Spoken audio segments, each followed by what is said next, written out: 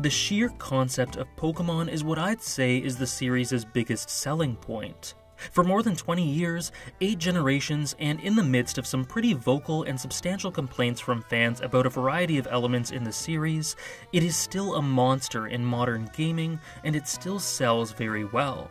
And for me, that is because the core concept of obtaining and bonding with these cool creatures, helping them grow stronger, and becoming the champion of the land by defeating other trainers just scratches an itch that keeps people coming back for more.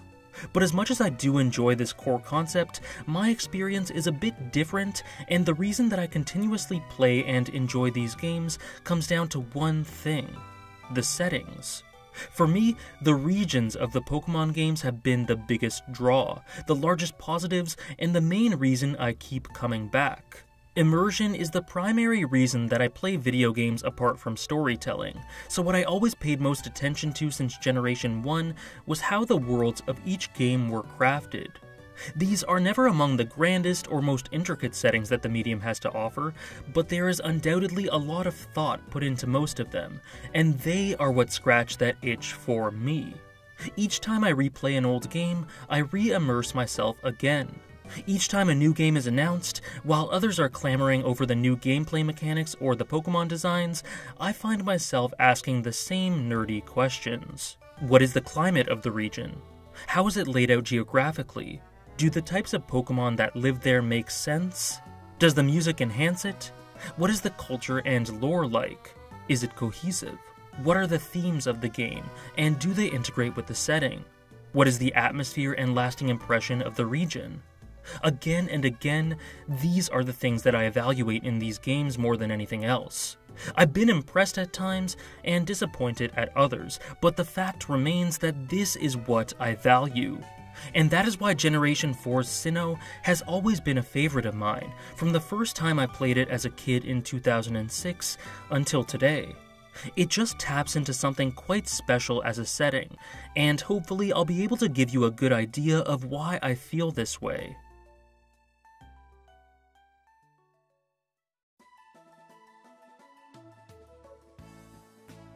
Sinnoh is an island region inspired by the Japanese island of Hokkaido and the southern part of the Russian island Sakhalin, as well as Kunashir.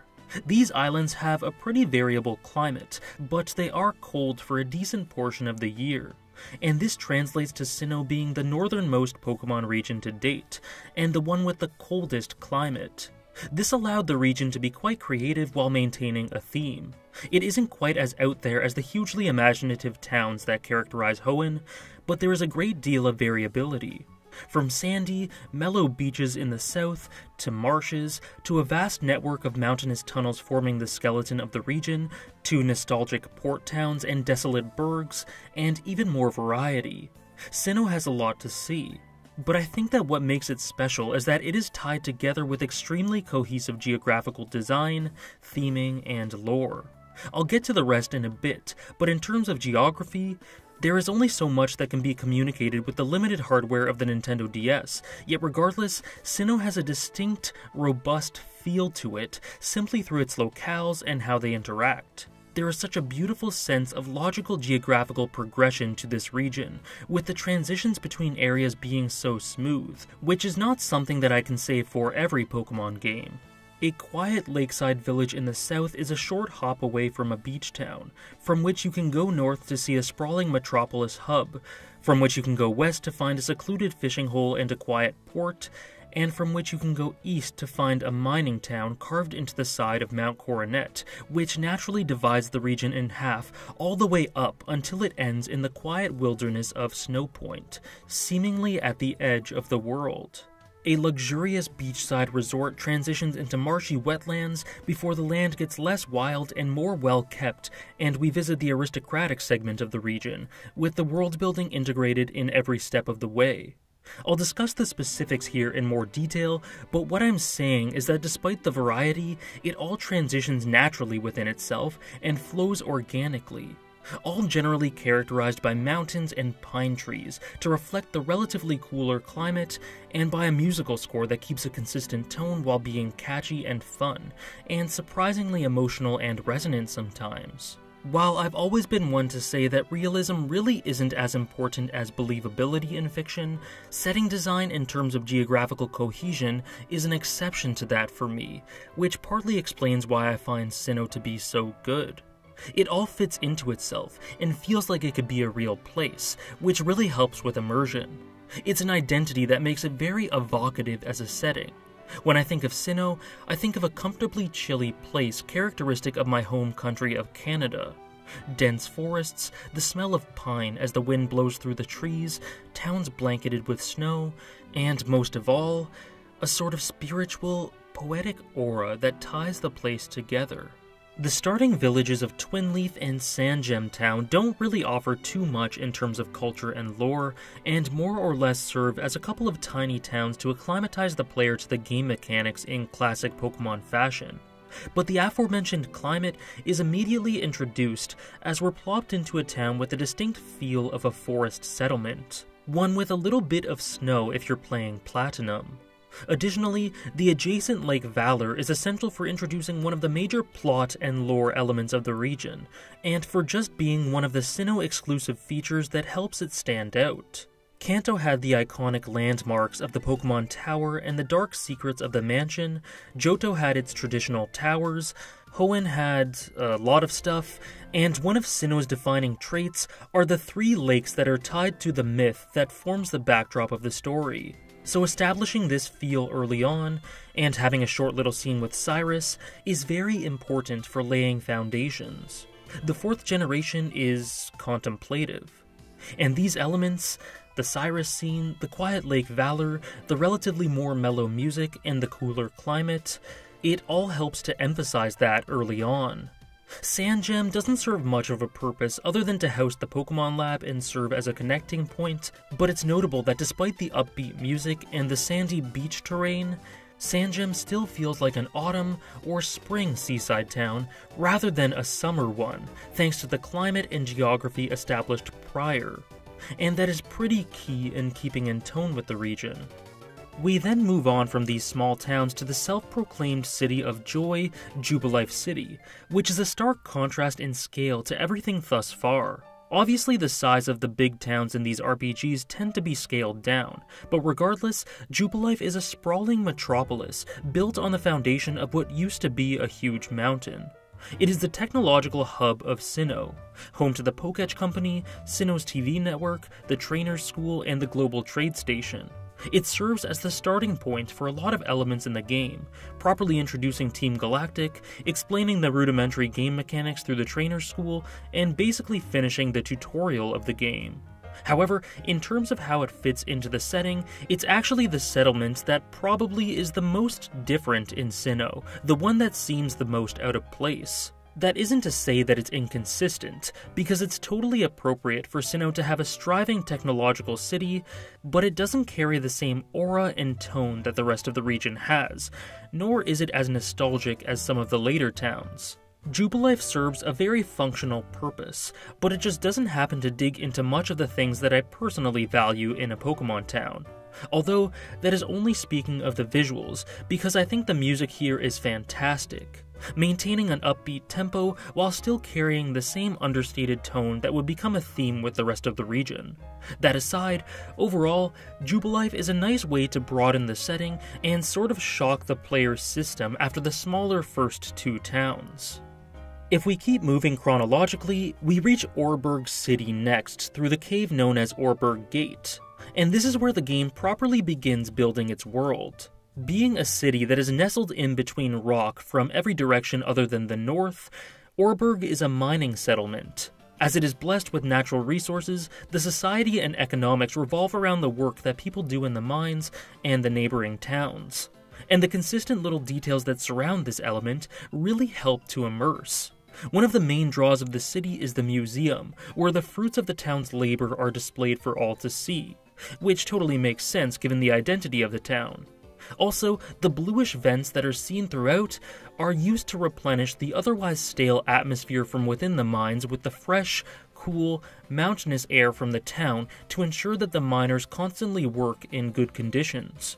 Overall, there is a substantial and impressive amount of thought put into Oreburgh, not only through how it functions within itself, but through how it fits with the rest of Sinnoh in terms of world building. And this is another example of geographical cohesion. As I mentioned, the neighboring Jubilife is a town built on land carved out by a mountain.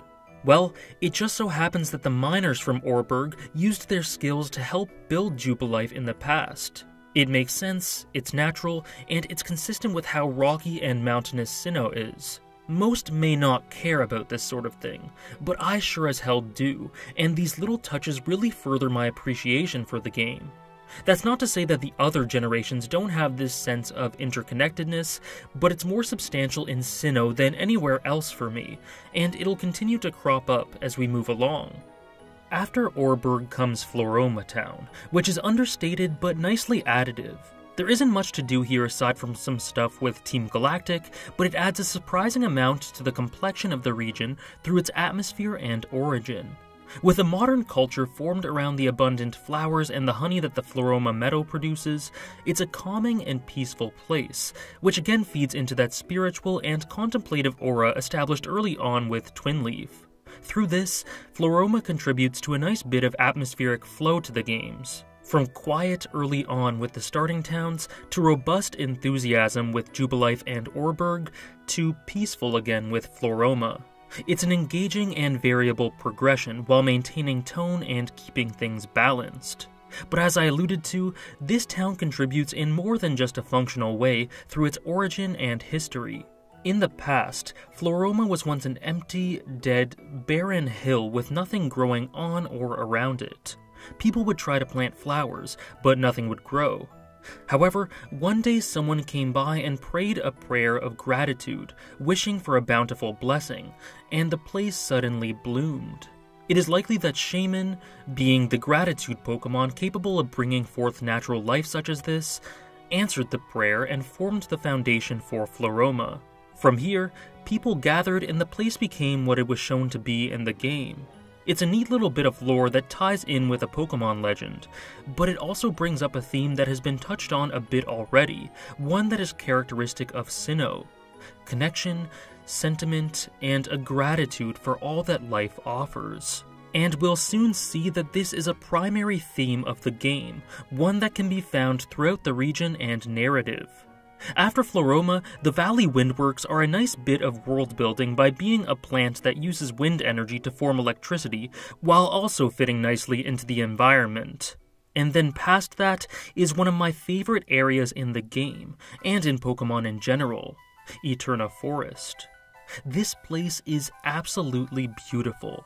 To me, it's like an area in an entirely different dimension altogether, while somehow totally fitting in with Sinnoh's atmosphere and themes. The trees are thick and suffocating, making the forest seem drenched in perpetual night, except for the small rays of light that make their way through the tiny gaps. It's very evocative. You can almost smell the earth and feel the still atmosphere. To me, it just feels like a place completely stuck in time, yet simultaneously one that is a relic of the past due to the abandoned and haunting old chateau. The music is somber and melancholic while not being too sad, and overall it's just a masterstroke in atmospheric and immersive game design by my estimation, a triumph of the Nintendo DS's capabilities. Making one's way out of Eterna Forest, we reach one of the oldest places in Sinnoh, Eterna City. Now, I love Eterna. It keeps that Sinnoh aura through its subdued and low key nature, but aside from the old chateau, this is where the setting first properly introduces what will become a major theme the past. History, culture, and times gone by. Eterna's motto is History Living, and it's very indicative. This is an old city, with the Galactic Building in the north throwing everything else into sharp relief.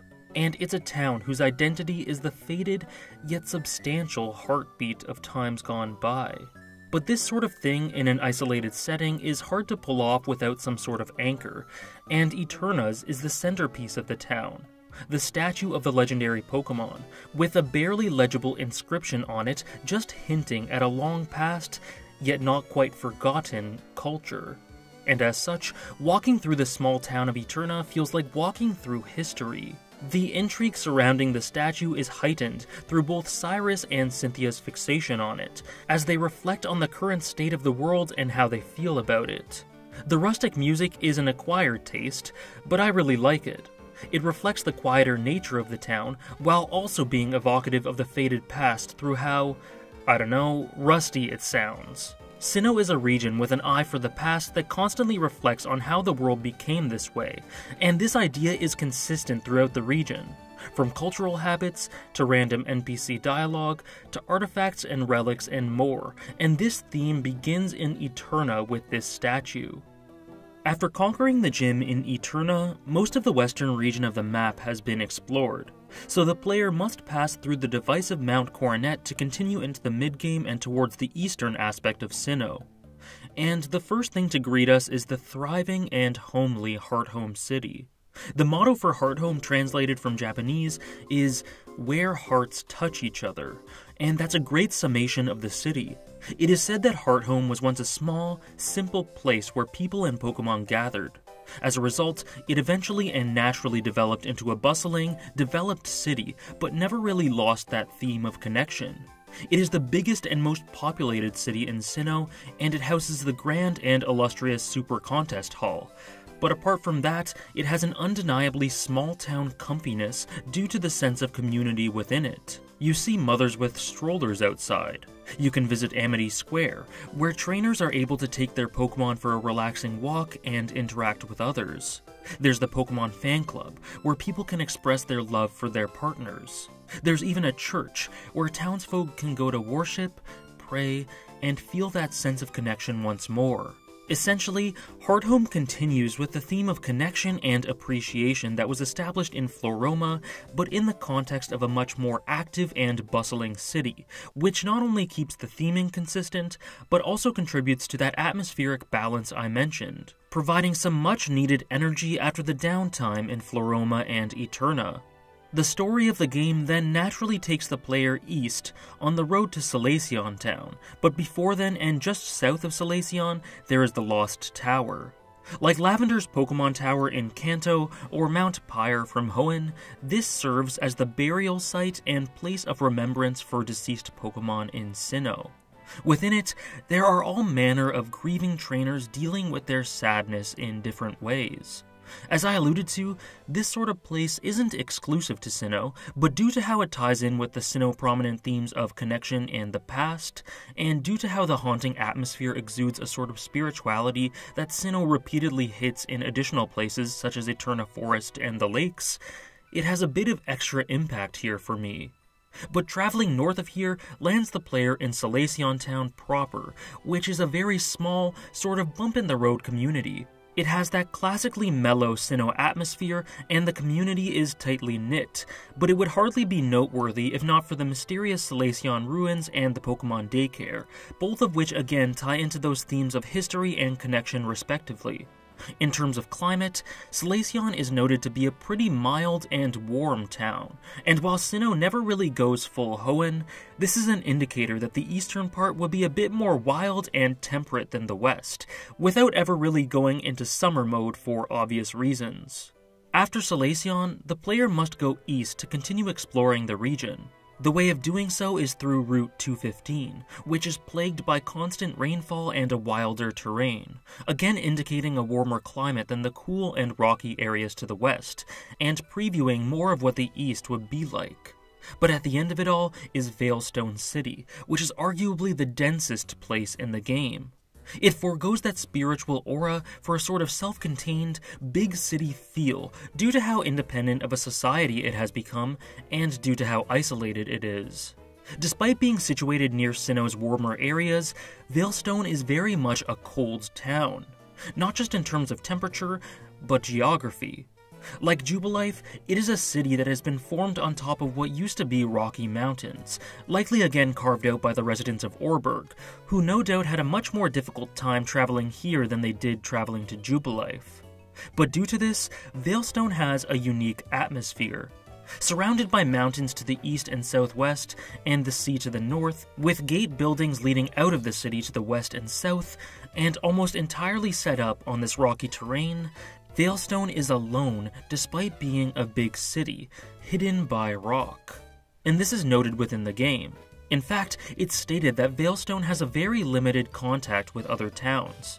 And due to this isolation, it is understandable that it would strive to keep its residents satisfied through all manner of things. Veilstone is home to a Pokemon gym, to the Game Corner, the department store, the Galactic HQ, and more, but its identity lies in the stones on which it stands. Throughout the city, you can find little craters where meteorites have landed, and that tends to be what Veilstone is known for above all. It all lends itself to a very rocky and cold feel, characteristic of Sinnoh. Now, immediately south of Veilstone is an area that is entirely different, yet still consistent at its core with the style of the setting. After a pretty unremarkable yet necessary transitioning area for Route 214, we reach the Valor Lakefront, home to the second of three Sinnoh lakes, and to the Hotel Grand Lake. This hotel is essentially a beachside resort and getaway. With Sunyshore to the east, which we'll discuss later, and the sea to the south, this is a luxurious retreat in the middle of what would otherwise be a painfully long trek between towns. Home to individual bungalows used as hotel rooms, a five star restaurant full of trainers, a pool, and more, an incredibly easy and relaxing atmosphere opens up when the player enters the hotel area, thanks also in part to the sleepy yet comforting music. This continues along the beach, where, Independent of the somewhat limited yet charming visuals, the immersion and atmosphere help the imagination evoke images of cozy sunset beach strolls. Or maybe that's just me. Regardless, what's worth noting is that once again, this doesn't have the feel of a tropical beach at all, and due to the previously established Sinnoh climate, it just seems like a comfortable temperature rather than a hot one. Geographical transitions continue to be excellent as we move west to enter Pastoria City, which is another seaside area but with a different sort of ecological complexion. The area around Pastoria is not as tame as the other areas close to the water, such as Sandgem, Veilstone, and the hotel. This area is much more lush and wooded, much more wild and rainy. In the past, when Pastoria didn't yet exist, there was a natural bog named the Great Marsh, inhabited by countless Pokemon, both rare and common. People sought to protect this as a preservation and leave it untouched, and as such, a community formed around the marsh that naturally became Pastoria. Not only is this a neat little origin story, but it is once again demonstrative of the game presenting connection and gratitude through how the citizens sought to protect and preserve the Pokemon. The city has since formed its identity around water, the gym is water type, the sea is to the south, there are boats that indicate some sort of transport or trade, and the marsh has become a prime attraction, drawing in visitors from all over to a town that would otherwise be overlooked due to not really being a very desirable destination, especially in comparison to the surrounding areas. It's another example of great and natural world building tidbits that do wonders for immersion, and it's basically the reason that Pastoria has always captured my attention. It is also worth mentioning that this aforementioned consistency in transitions continues with Route 212 just west of Pastoria, as the muddy, marshy wetlands slowly get cleaner and transition into tamer land turning from mud gradually into much more kempt lawns as we move northwest, eventually reaching the neat, tidy, and flat landscape surrounding the aristocratic Pokemon Mansion, which again totally makes sense given that we are now directly south of Hearthome. Now, after Cynthia provides the player with some medicine, they are able to pass through Route 10 into Celestic Town, which is not only Cynthia's hometown, but also one of my favorite little areas because of how well it represents Sinnoh as a whole.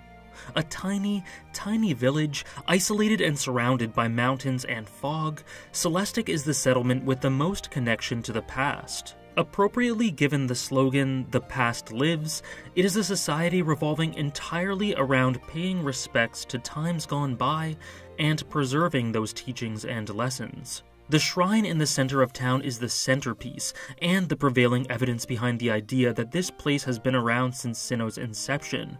And the Celestic ruins house several inscriptions that provide the player with substantial amounts of lore and myth. Due to this focus on history and culture and how geographically isolated it is, Celestic feels similar to Eterna Forest in that it's a place segregated from the rest of Sinnoh, where time seems to stand still, to a slightly lesser extent. It is an encapsulation of Sinnoh's aura and a nice little pit stop in the story.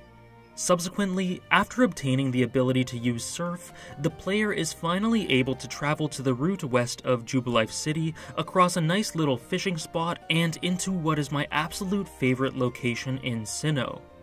Canalave City is a masterstroke in evocative atmosphere and thematic communication. In terms of layout, the city is divided into two halves by the water, with the pier to the south and the drawbridge connecting the east and west.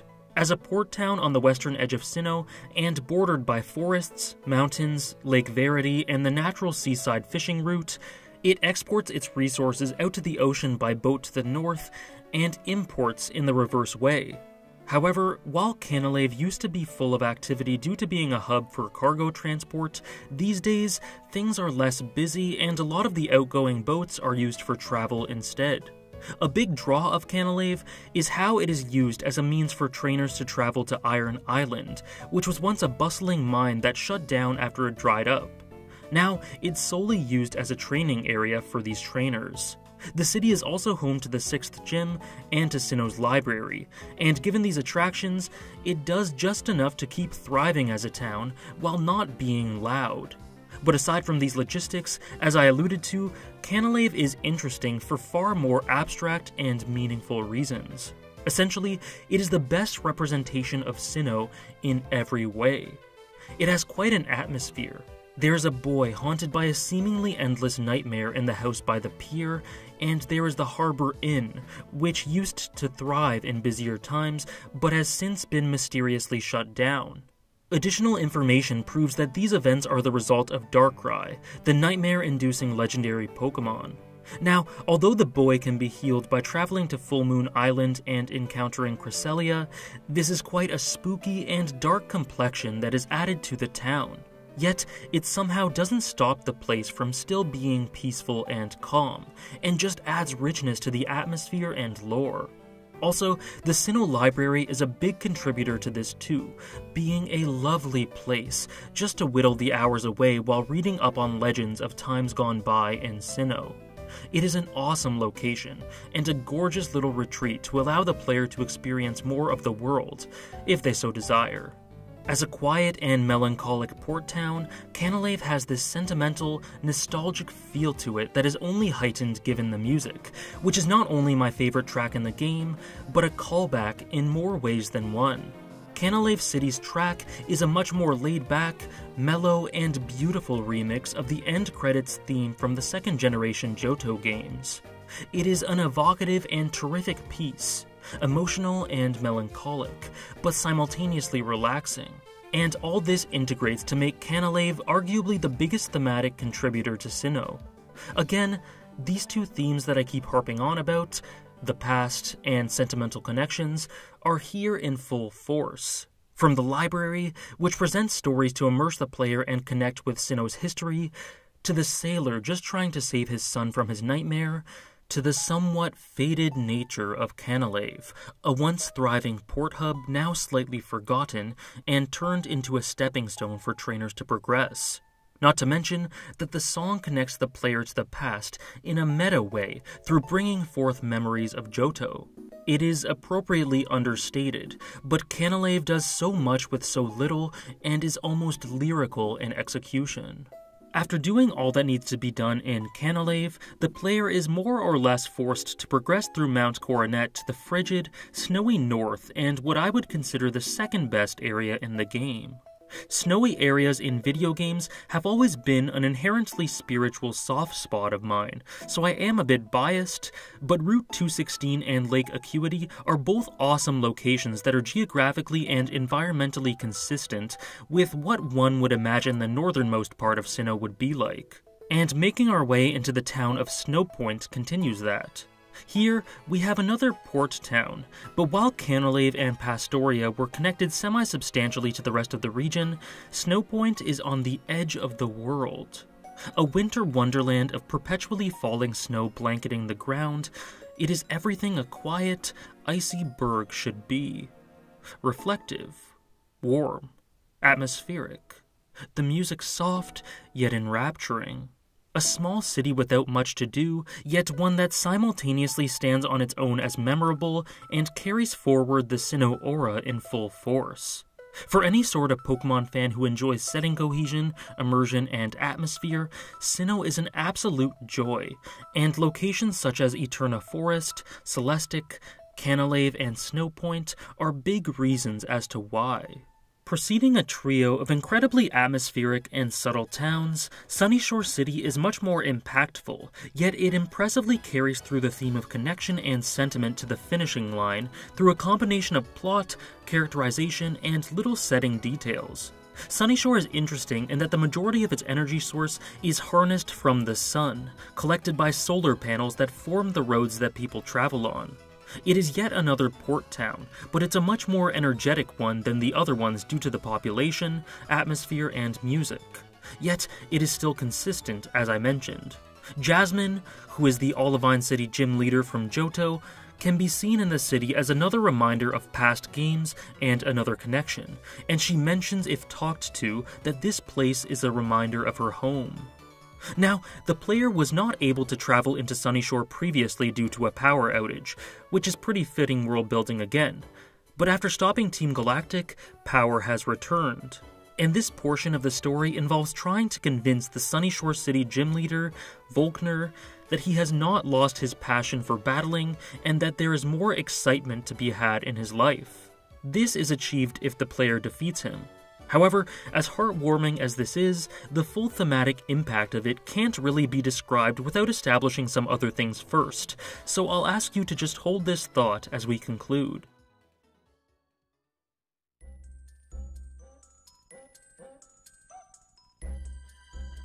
Geographical identity, nuance, and cohesion are elements that make Sinnoh great, but what propels it into fantastic is how it integrates with the culture, narrative, and established lore. Pokemon has always been a series that backloads its lore through the cultural roles of the legendary Pokemon, with Sinnoh being the region that uses this sort of storytelling the most, in my opinion and it does this through myths told through the Canalave Library, the relics of the past, and through simple word of mouth. I've already talked about Shaymin and how it is relevant to Floaroma, but there are a few other legendaries that I'd like to bring up. Firstly, there is the iconic duo of Dialga and Palkia, the creatures of time and space respectively. These two are part of the Creation Trio, which also includes Giratina, but for the point I'm making here, Giratina isn't quite as relevant as the other two. It is said that Arceus, the original one and the god of this universe, created the world at the spear pillar at Mount Coronet's peak. At the same time, it created Dialga, who is said to control time, Palkia, who is said to control space, and Giratina, who controls antimatter and was banished to the distortion world for deviant acts. Dialga and Palkia were then given reign to situate themselves in their own different dimensions, but their root and origin was and will always be Sinnoh. Dialga is able to alter, travel through, and regulate time in any way it pleases, with Pokedex entries confirming that time began moving the second it was born. Palkia, on the other hand, has the ability to warp space and create alternate dimensions, and the distortion or stability of space is dependent on its whims. The two are very temperamental and have been known to get into conflicts with one another, which is naturally a terrible thing that anyone in existence would want to prevent for obvious reasons. Now, there is also this generation's more traditional sort of legendary trio the three lake spirits of Mesprit, Uxie, and Azelf. It is said that upon the creation of the universe, Arceus brought forth these three Pokemon and gave them the ability to bring balance by calming Dialga and Palkia. Not only this, but more specifically here, Mesprit, Uxie, and Azelf are said to be the creatures who originally taught humans how to feel emotions, how to learn, and how to have willpower, respectively. The being of emotion, the being of knowledge, and the being of willpower. It is said in a separate story from the library entitled A Horrific Myth that the Lake Guardians are also somewhat cursed. According to legend, if one looks into Uxie's eyes, they will lose their memory. If one touches Mesprit, they will lose the ability to feel emotions. And if one hurts Azelf, they will lose all willpower and never be able to move again. As such, the three Pokemon try to prevent cursing others in this way. Uxie keeps its eyes closed, Mesprit avoids humans so it cannot be touched, and Azelf's spirit is capable of entering the bodies of others so that it cannot be harmed. Essentially, these three were birthed to calm Dialga and Palkia, to bring these benefits to humans, and then to prevent them from losing that which they bestowed upon them. They each rest deep in their respective lakes, maintaining balance and prosperity in the world, and they do not move unless forced to. These legendaries all breathe structure, essence, and purpose into life in Sinnoh. Without them, there would be no emotion, no knowledge, no will, no sense of space and time. Existence would be pure futility. Existence wouldn't exist. And that is why this region is characterized by these two themes of the past and of connection. Teachings of these Pokemon and the purpose that they serve are never totally allowed to be forgotten, faded but not lost. Not to mention the more mundane yet powerful relationships that any given trainer can have with their Pokemon. Sinnoh constantly reflects on the past to never forget these roots, and constantly imbues itself with the sentiment to never forget how important these connections are to life. It cannot properly exist without these things that Pokemon provide, so the inhabitants' ways of life and customs pay tribute to that and express gratitude. All of this feeds into why Cyrus is a pretty great villain, because he is ideologically antithetical to the values of those who inhabit the world, and as such, cannot conceptualize these things and wants to destroy it all. Cyrus states throughout the game that his goal is to destroy the world and start it anew, he grew up in Sunyshore and was always diligent and hardworking, but he found interacting with people to be difficult and much preferred the company of machines. As such, he grew up alone and isolated. Ultimately, his behavior meant that he disappointed his parents and betrayed their expectations, and he was extremely disheartened by their rejection. He then came to the conclusion that emotions and spirit were the reason behind all of the pain in the world, which kickstarted his plans in the story. Essentially, he wanted to create a quote unquote perfect world with no emotion or sentiment, no attachments, so that all can function flawlessly and painlessly and work as a well oiled machine does. But while you can see where he's coming from in a sense, that sort of thinking counteracts the purpose of existence for so many, and Sinnoh itself is a counterpoint through how the place constantly looks back on the past and remembers its history and how things became the way they became. The Lake Guardians fight to maintain this spirit, and the other legendaries breathe life into it and stabilize it for others to prosper. And the beings of this place acknowledge this through how they remember, and they pay tribute through these connections that they form. Simply put, for Sinnoh, a world with no spirit and feeling would be no world at all. And so, this cycles back to Volkner's situation that I mentioned earlier. He shares a couple of distinct parallels with Cyrus. He's a man who grew up and resides in Sunyshore, and one that felt aimless, lost, and as if the world had rejected him. The difference? The player is able to be there for Volkner and reignite his passion for life in a way that no one was quite able to do for Cyrus. If the player travels to Route 228, they can talk to Cyrus's grandfather, who states that he deeply regrets not having tried harder to be there for his grandson that maybe he could have saved him. Cyrus became the way he became due to isolation and a lack of connection, but that is why this theme is so important. Because it can save people like Volkner from becoming lost. It can make life worth living. And as such, Sinnoh, a region defined by this sense of sentiment and spirit, is as an entity an antithesis to all that Cyrus stands for. The world is flawed, yes, but it is also beautiful. And there is value in feeling things as those throughout Sinnoh do, and as Sinnoh itself does. It's an idea that you can feel in every corner of the region, a sort of abstract and unspoken thematic convergence that can be felt through all of this that makes these games a joy to play through and explore. Many thanks for watching.